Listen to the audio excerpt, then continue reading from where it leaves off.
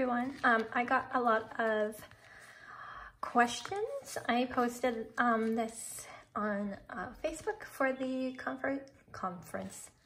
Ah, still in work mode. The Coffee Monsters Co. Um, Facebook group and then also in um, my YouTube video flip. And so people are wondering how I made this. So I'm going to try my best to do a thorough and um, clear tutorial. So um, yeah, let's, I I'm just gonna say bear with me as this is my first one. I kind of wrote out the steps, make sure I don't miss anything. So I hope this is um, useful and helpful for you guys.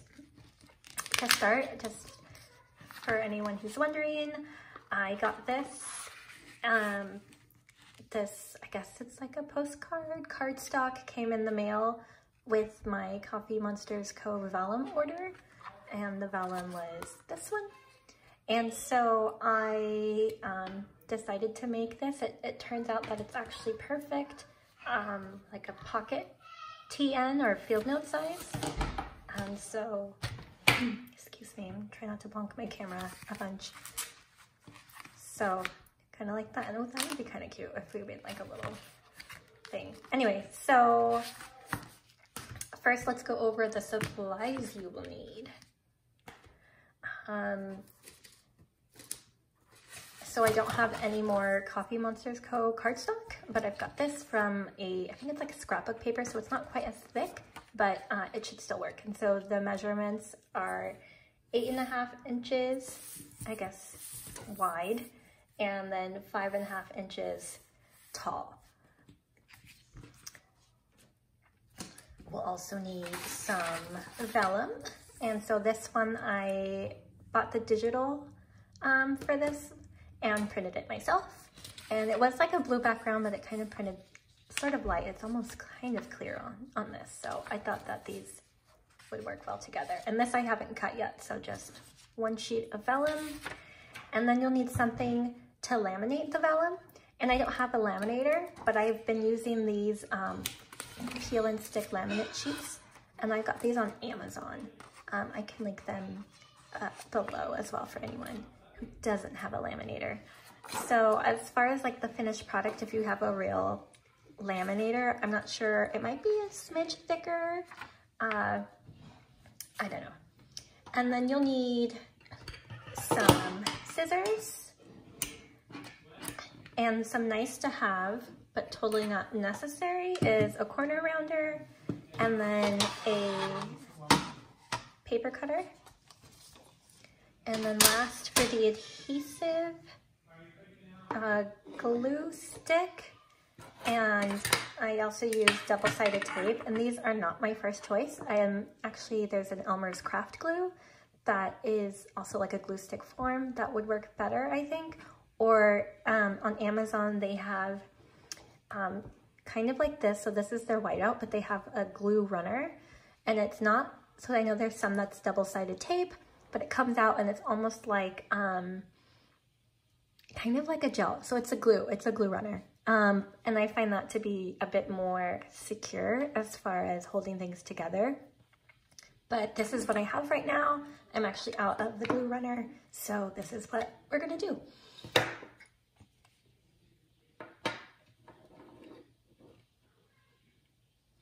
Oh, one last thing. I don't have this, but um, there's some people, ugh. I don't have this, but there's some people who use a, um, oh, what's it called? I think it's called a scorer. And so it's like this flat thing that kind of looks like this and it's got a bunch of divots in it so that you can make creases. Um, and it just sort of helps you fold things better. So to start, I'm going to get my cardstock and I'm going to use my field notes insert as a guide like I did last time. So what I do is sort of go towards the end um, of the, the book and then fold it that way. And then here, if you had this the score machine, uh, you could make a mark and then use that. I think especially for the heavy cardstock that comes in the, um, the vellum kit. So what I'm doing now is folding this. And this is going to be the part that goes in the TN. And then I'm also going to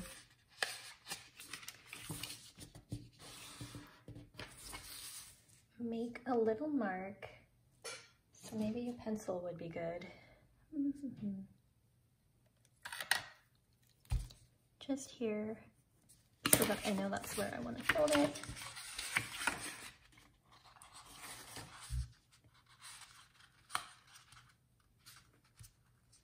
Trying to do this straight. Oh, sorry guys. I don't have the best tripod, so I have to MacGyver some things. And that's that part. And then next, you need to measure your vellum. And I, you can do a couple things. So I have on this one, like a, I guess a secretarial pocket kind of thing. And then this one is just like a side pocket in here. Um, I think you could do two, just two side pockets and that would be really easy because it's not um, so much cutting. And this, I just, I just eyeballed. Um, so the vellum, just making my marks on where it needs to get cut. And for the height,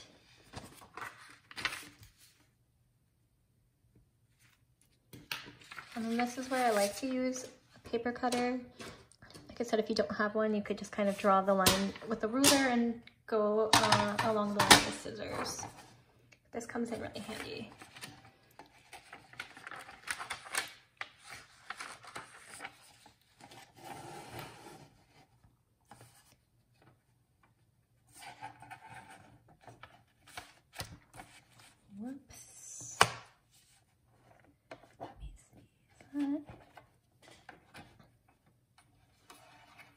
The cutter is in the way of the line, so I can't see where my mark is. Okay, there it is.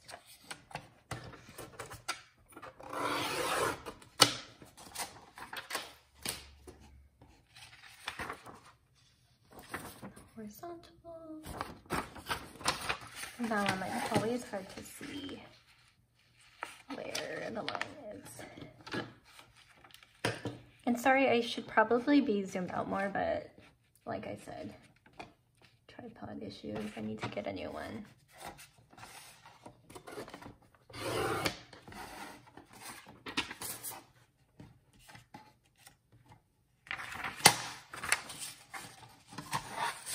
So this is the final piece and I want to fold it. I like to fold it before it gets laminated just so that it's easier to fold when it is it is laminated. And then this is just really easy. So I'm putting it um, face, whoops, face up. And then putting it line it up pretty much along the edge. I'm not so much worried about like the seal breaking, if that makes sense, because it's only the one side. So um, it won't really matter. And then to make it easier for cutting, I like to put this oops, back on just so the cutter doesn't get like stuck on.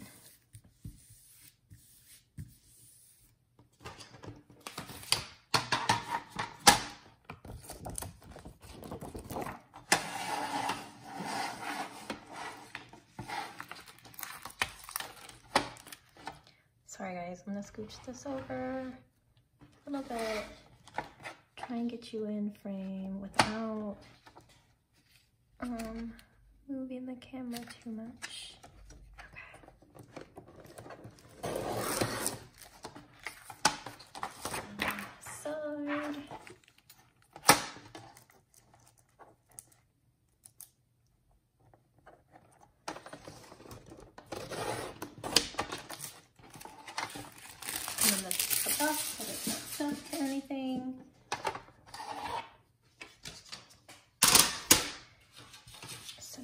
Got our folder and the um, the inside, the vellum, that'll become the pocket. And then here I just fold it again.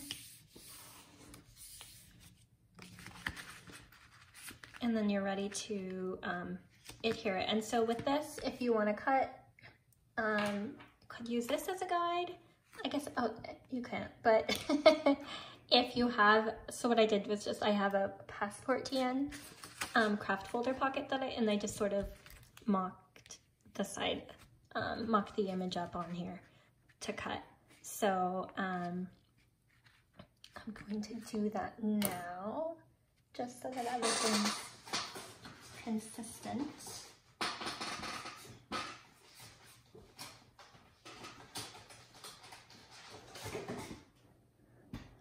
For my ruler, so that's one thing I didn't mention would be handy is a ruler. And so I'm just gonna make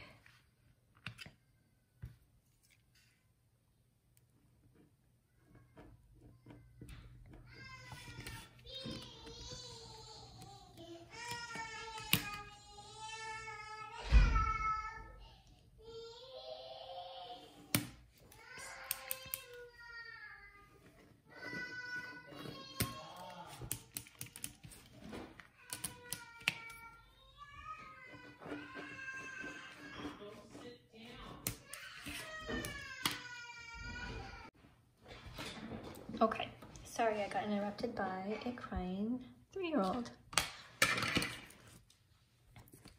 This is kind of hard to see, but I'm just gonna kind of get, so now I'm cutting for the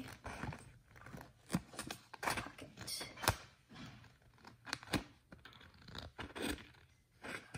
Whoops, it's a little it was better the first time, I promise.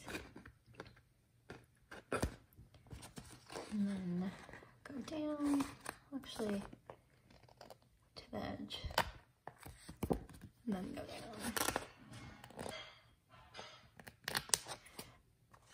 And then I'm cutting off the part that I don't want.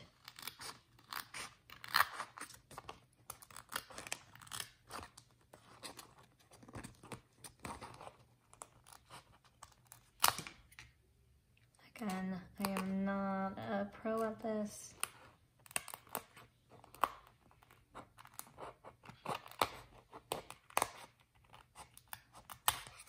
Okay. And so like generally in, um, what's it called? These kinds of, um, like craft TN folders, like this is completely separate, but I like to leave a little bit, um, attached just so that it's more stable, I guess. so now we time, now we time, now it's time for uh, putting it all together. So, like I said, some other kind of glue would be better, but this is what I have. And then instead of trying to cut this in half, I just put, I don't want like the whole thing here because then the pocket would be really small. I just do that and then I'll come back through and trim um, I'm not, the part that hangs off the edge.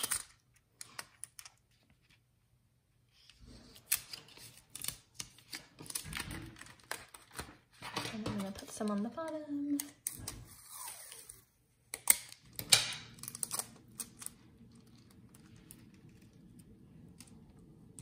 Again, this is not precise. And then along the side here.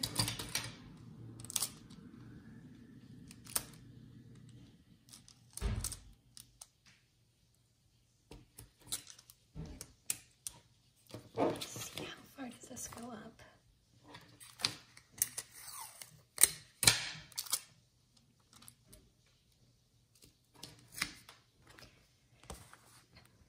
Okay.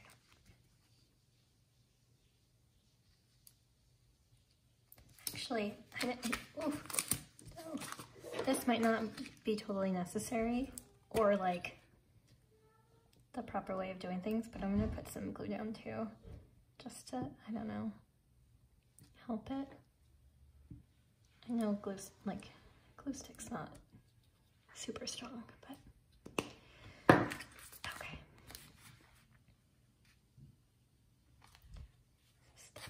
okay. I almost put it on upside down. Make sure the laminated side is facing out, people. Whoops.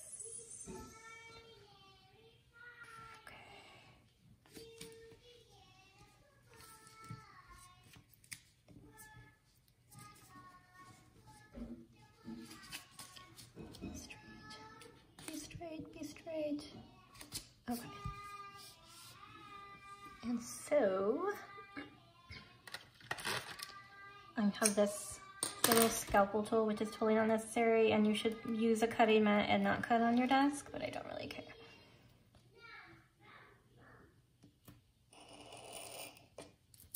Just trimming the extra. Last one.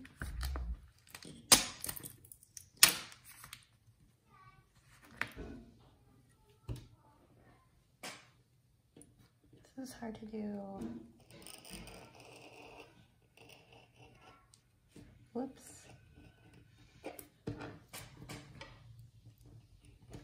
Okay. And this is free. Whoops. Almost free.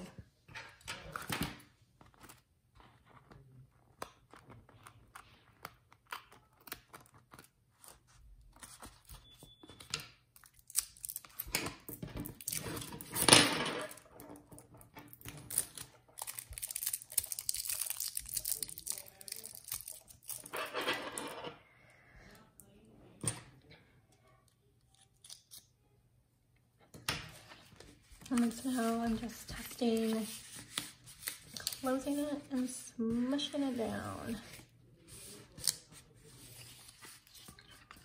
And then this is hanging over the edge a bit. Um, just gonna trim it. Oh, I'm sorry guys.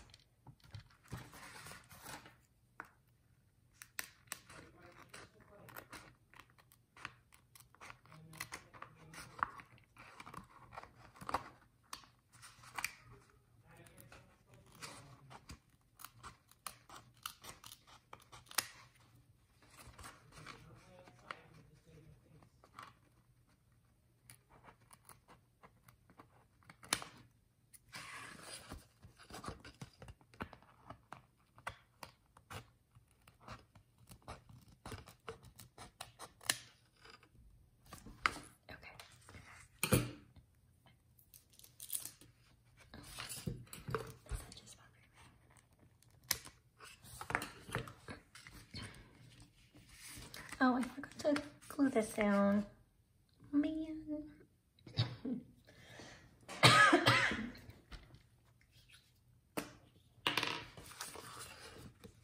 Don't be like me. Glue all your edges down. Okay.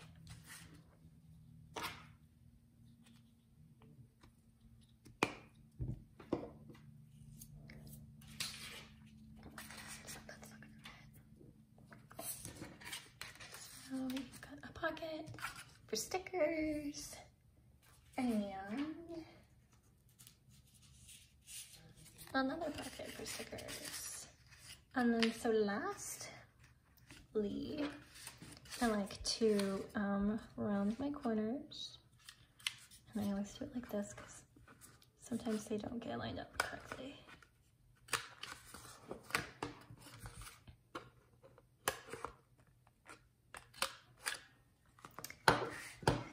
And then for closure, if you don't have a Velcro, you can get like, um, cut a, a semicircle in the vellum and then it'll like flap over and so it'll secure kind of like an envelope.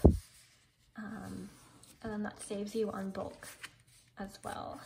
I'm really digging this gingham, gingham with the sunflowers. It's kind of cute. I'm gonna use the Velcro. Um, And then I like to stick them together first. Try just eyeball center. And then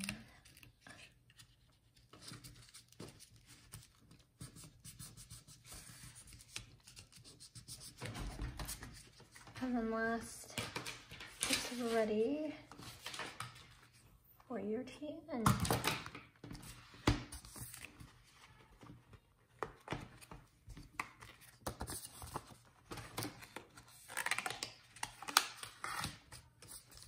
Well done. Oh my gosh, look how cute that is with my yellow cover. So that is it. Um, I hope it was helpful. One thing you could do as well if you wanted is to round these corners. Um, like these are kind of rounded. So yeah, I hope that was helpful. If you guys have any questions, let me know and let me know if you want more tutorials like this. Um, maybe with a better tripod so that you're not spinning around.